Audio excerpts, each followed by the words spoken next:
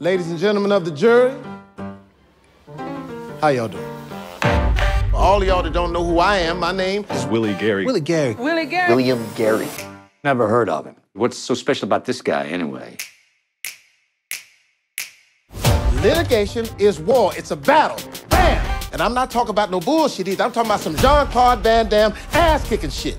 Truth is, I may have gotten myself into a lot of trouble. I've been your lawyer 30 years. We can find a way out of it. You've never sued anybody before in your whole life. This fella tried to bully me out of business, and I don't think I should be expected to stand for it. Mr. Gary hasn't lost a case in over 12 years. You suggesting I hire this guy as one of my lawyers? Y'all come on in. Pleasure to meet you, Mr. Gary. Let me introduce you to Mike Allred. How do you feel about working with black folk? I suppose I am a little prejudiced. Hmm? Did you meet my team? I'm Chris. Deshaun. Reggie Douglas. Gentlemen. He's suing us? He's suing us. We are a half a billion dollar corporation. So, how much money y'all trying to get? Eight million. That ain't enough money. $100 million. Who is this clown he's hired as a lawyer? You're a fighter, man. What made you want to do it? Because he tried to mess with the one thing that means the most to me in life being able to leave something behind for my grandchildren. Let's play some music. My name is Mame Downes. Graduated top of her class from Harvard Law School. Uh-huh. They had a nickname for her around the office. The Python.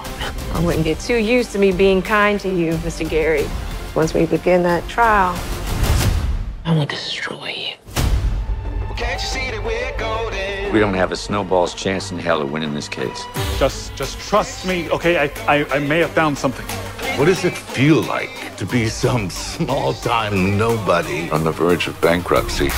What if I don't win?